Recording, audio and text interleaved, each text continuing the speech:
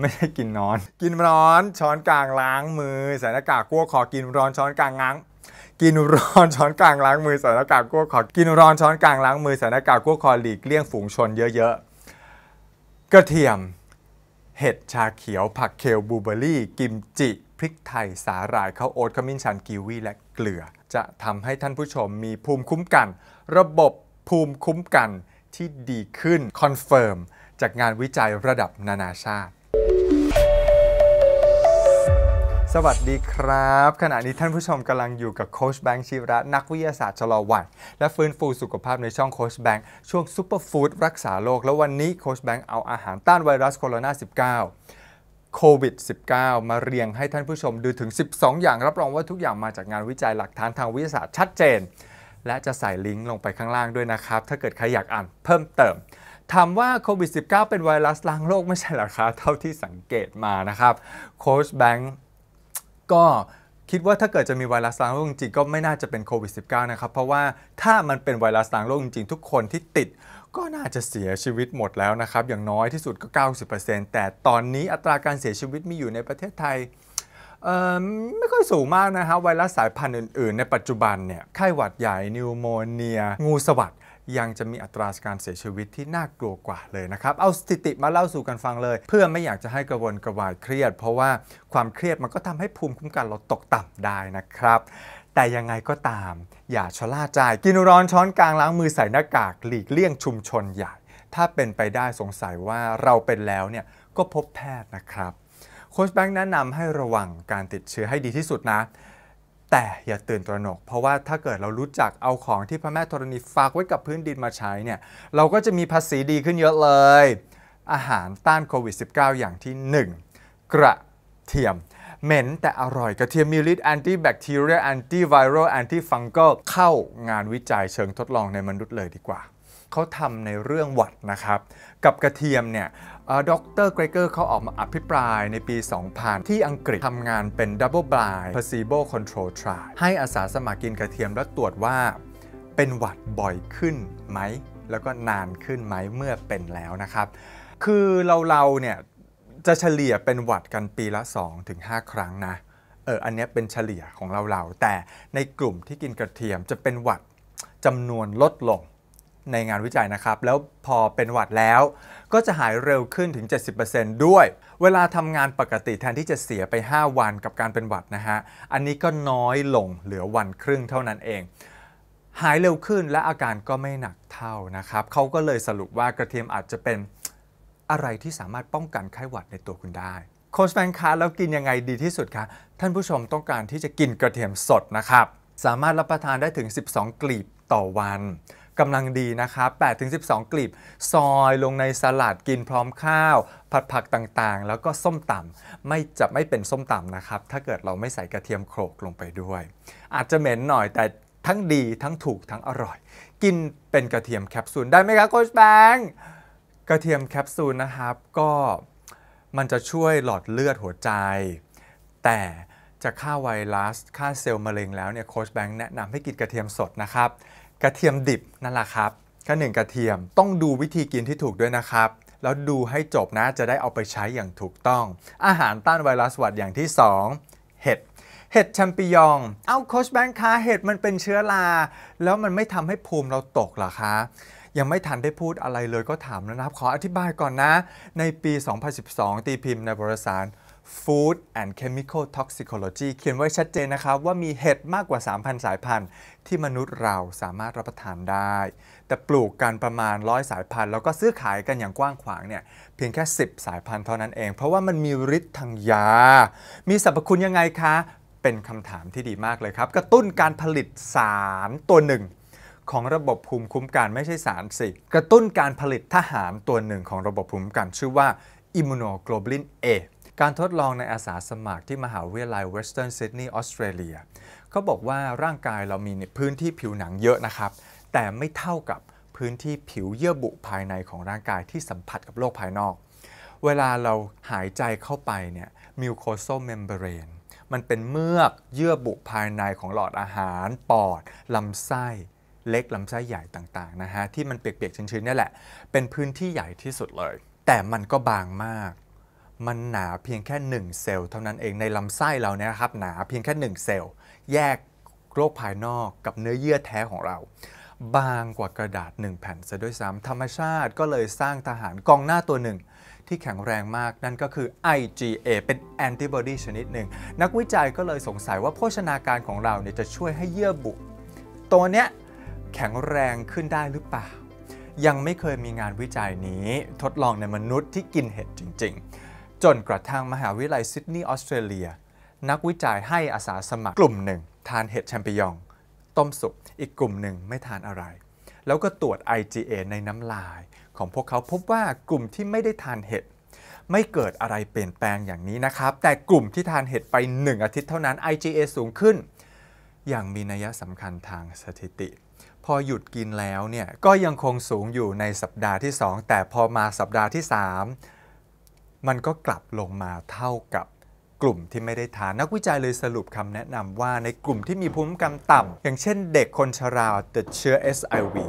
3 กลุ่มนี้ควรที่จะทานเห็ดแชมปิญองอย่างต่อเนื่อง เพื่อรักษาระดับของกองทหาร IgA นี้ไว้ อันนี้ก็เข้าใจได้นะครับ เพราะว่าเราจะไปคาดหวังว่าจะกินอย่างหนึ่งแล้วให้มันภูมิเราสูงตลอด การเนี่ยมันก็เป็นไปไม่ได้ใช่ไหมครับ ต้องทำให้เป็นส่วนหนึ่งของสูตรอาหารของเราทุกวัน คนที่กินคีโต กินวีแกน กินมังสวิรัตกินชีวจิตก็สามารถกินได้นะครับ เห็ดนี้เอามาทำซุปเห็ดแกงจืด เห็ดแกงเผ็ด เห็ด เห็ดย่างซอสหมาล่า ลาบเผ็ด อร่อยมาก อร่อยจริง ๆ นะลาบเผ็ด หลาย ๆ ครั้งความเชื่อเก่าๆ กับงานวิจัยใหม่ ๆ มันก็ขัดแย้งกันนะครับ เราต้องอัปเดตความรู้ของเรา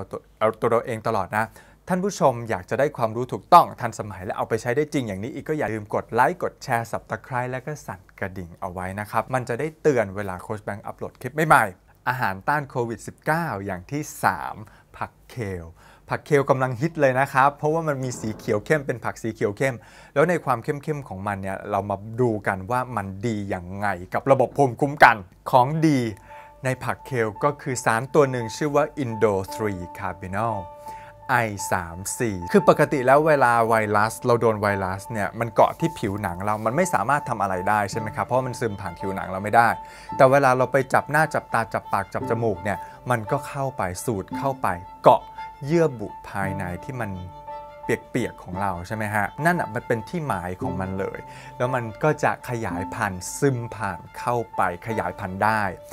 แล้ววิวัฒนาการของมนุษย์เราก็เลยมีทหารอีกชนิดหนึ่งนะครับ เป็นส่วนหนึ่งของระบบภูมิคุ้มกันอีกแล้ว ทหารนี้ชื่อว่า intraepithelial lymphocytes เซลล์พวกนั้นมันมีหน้าที่ซ่อมแซม barrier ต่าง ๆ ของเรา และยังเป็นกองหน้าสู้กับผู้บุกรุกอีกด้วย เรามี IgA แล้วใช่ไหมครับ และเราก็มี IELS เซลล์ IELS เนี่ยก็เหมือนกับทุกๆเซลล์นะครับ มันจะมี receptor มีที่จอดรถใช่ไหมครับ หรือว่าในที่นี้จะขอบอกว่าเป็นแม่กุญแจละกัน เป็นแม่กุญแจรอให้กุญแจมาไข เพื่อที่จะเข้าไปทำงานได้ในร่างกายเรา ทุกคนจะมีแม่กุญแจตัวนี้อยู่แล้วในเซลล์ IELS นี้ นักวิจัยเขาก็พบว่าลูกกุญแจที่จะมาไขเนี่ยเป็นสารพิเศษตัวนี้แหละ Indo 3 Carbinol I3C ที่มีอยู่ในผักตระกูล Cruciferous Vegetables นั่นก็คือบรอกโคลีกระหล่ำดาวกระหล่ำดอก วาซาบิกระหล่ำปลีกระหล่ำม่วง แล้วก็ผักเคล สารตัวนี้แหละครับ จะต้องโดนกรดในกระเพาะอาหารของเรากลายเป็นกุญแจเข้าไปไขแม่กุญแจ ตรงเซลล์ลิมโฟไซต์ของเรา ไดอะแกรมนี้เลยนะครับ เวลากินผักเคลเข้าไปเนี่ยมันก็จะย่อยย่อยย่อยลง เพื่อไปปลดล็อก กระตุ้นพลทหารของเรา นี่ก็คือที่มาของคำแนะนำว่าควรที่จะกินผักใบเขียวทุกวัน เพราะมันจำเป็นต่อร่างกายมนุษย์ มีโปรตีนมากกว่าเนื้อสัตว์อีกนะครับ ถ้าเกิดน้ำหนักเท่ากันแล้วเนี่ยโค้ชแบงค์หาซื้อเคลไม่ได้หรอกค่ะ ติดต่อไปแล้วเขาบอกว่าปลูกไม่ทัน เพราะว่าฮิตเหลือเกิน ก็กินบรอกโคลีได้นะครับ คนที่กำลังลดความอ้วนอันนี้กินบรอกโคลีก็จะดีมากนะครับ วิธีกินที่ดีที่สุดโคชแบงค์ขอหน่อยได้ไหมครับวิธีกินเนี่ยทำคลิปไว้แล้วนะครับ 3 วิธีกินบรอกโคลีให้ได้ผลดีที่สุด ถ้าเกิดยังไม่ได้ดูจะใส่ไว้ตรงนี้นะครับ แล้วก็ใส่ไว้ท้ายคลิปด้วย ท่านผู้ชม เราทุกคนจะมีภาษีดีที่สุดก็ต่อเมื่อ เราทำให้ร่างกายเราภูมิคุ้มกันเราแข็งแรงขึ้นทำให้เม็ดเลือดขาวเรามีประสิทธิภาพมากขึ้น ในการไปเขมือบไวรัส เพื่อนที่ไม่ได้รับเชิญ ผักเคลไปแล้ว อาหารต้านไวรัสที่มีสีเขียวอีกอย่างหนึ่งก็คือชาเขียว 4. ชาเขียว ชาเขียวมีสารชนิดหนึ่งพิเศษอีกตัวหนึ่งชื่อว่า EGCG มีรายงานเยอะตีพิมพ์กันชัดเจนเลยนะครับ ทั้งญี่ปุ่นทั้งเมืองนอกเมืองนา ไว้ว่าสามารถช่วยต่อสู้กับโรคไวรัสผิวหนังได้ หูดนู่นหูดนี่หูดงอนไก่อะไรประมาณนี้นะครับเขาก็เอาขี้ผึ้งชาเขียวเนี่ยไปทาบนหูดงอนไก่ พบว่าสามารถรักษาให้หายได้ใน 52%ของคนที่เป็นทุกคนเลยนะครับ หายไปมากกว่าครึ่งเลย แล้วในปี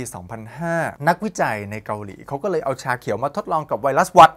อันนี้ตรงกับเราแล้วนะครับ พบว่าไวรัสชาเขียว ไม่ใช่ไวรัสชาเขียว ชาเขียวสามารถฆ่าไวรัสได้ดีในห้องแลบ แต่ในมนุษย์ล่ะ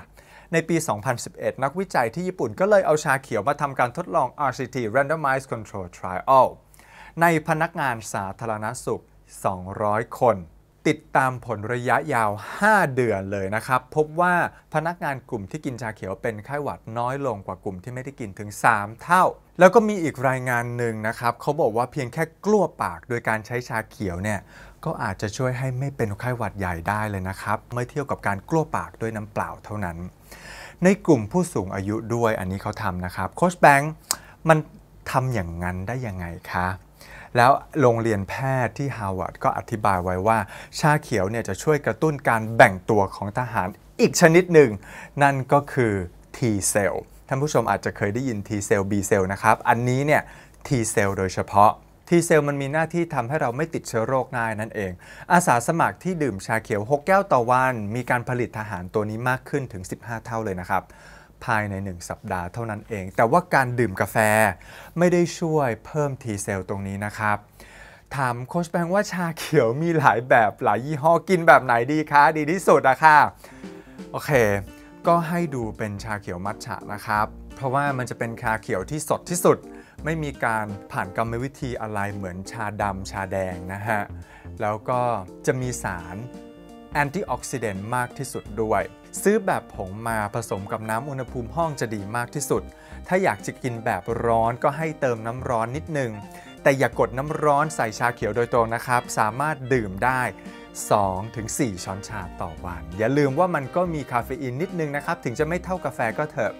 เพราะฉะนั้นอย่ารับประทานก่อนนอนจะทำให้การนอนไม่มีประสิทธิภาพ อาหารต้านไวรัสอย่างที่ 5 บลูเบอร์รี่ไม่แพงนะครับ ไม่แพงซื้อแบบแช่แข็งก็ได้ ได้ผลเหมือนกันผลไม้ตระกูลเบอร์รี่ต่างๆนะครับ มีประสิทธิภาพสูง ในการลดและซ่อมแซมการถูกทำลายของเซลล์จากการอักเสบกินปั่นพร้อมกับมะนาวเนี่ยจะดีมาก ๆ เลย ช่วยต่อสู้กับศัตรู ถึงแม้ว่าค่าศึกจะเป็นเซลล์มะเร็งก็ตาม อันนี้เป็นวิจัยใหม่ในปี 2011 นะครับ มีการทดลองในนักกีฬา ให้พวกเขากินบูเบอรี่ พบว่าบูเบอรี่สามารถกระตุ้นพลทหารอีกชนิดหนึ่งได้ มีหลายผลมากเลยนะครับ วิวัฒนาการของร่างกายเรามันสุดยอดมาก ชื่อว่า NK cell Natural Killer Cell มีความสามารถขมือบศัตรูอีกเหมือนกันโดย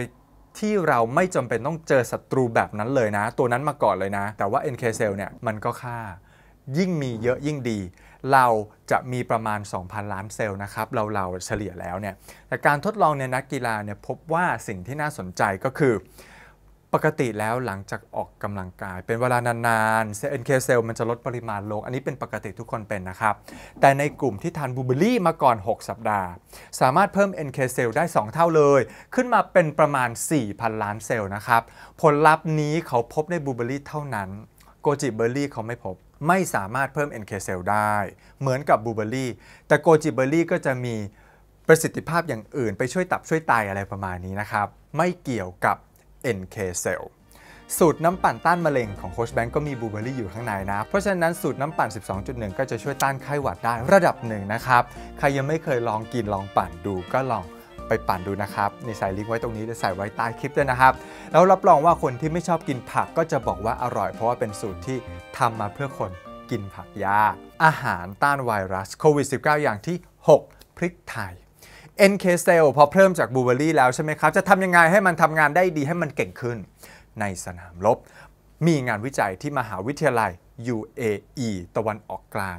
กับมหาวิทยาลัยแพทย์ที่แคนาดาจับมือการวิจัยสมุนไพร2อย่างพริกไทยดำ และลูกกระวาน cardamom สามารถเพิ่ม NK cell ได้ในหลอดทดลองนะครับ ที่เขาทดลองกันโดยการใส่ผงลูกกระวานเนี่ยลงไปพร้อมกับ NK เซลล์ที่มีศัตรูของเราอยู่ มี NK เซลล์มีศัตรูของเราแล้วใช่ไหมครับ มันก็เขมือบเขมือบเขมือบใช่ไหม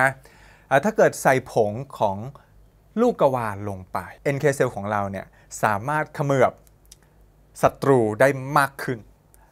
ยิ่งใส่มากยิ่งทำได้เขมือบได้มากขึ้นจำนวน NK เซลล์ไม่ได้เพิ่มขึ้น แต่มันเร็วขึ้นมันเก่งขึ้น คือมันต้องมี 3 อย่างนะครับ มีสมุนไพรมีเนื้อเยื่อเราคือ NK เซลล์แล้วก็มีค่าศึก ถึงจะได้ผล ถ้าเกิดใส่สมุนไพรอย่างเดียวกับค่าศึกเลยเนี่ยผู้บุกลุกเลยเนี่ยมันจะทำอะไรไม่ได้ต้องมี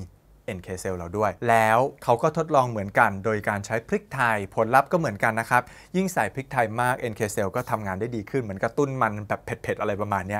แต่ที่น่าสนใจก็คือ เมื่อเขาใส่ทั้งพริกไทยและลูกกระวานลงไป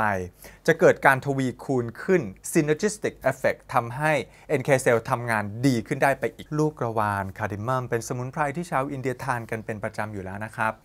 อาจจะเป็นเหตุผลว่าทำไมภูมิคุ้มกันเขาถึงแข็งแรง โคชแบงก์ก็มา confirm จากงานวิจัยนะครับ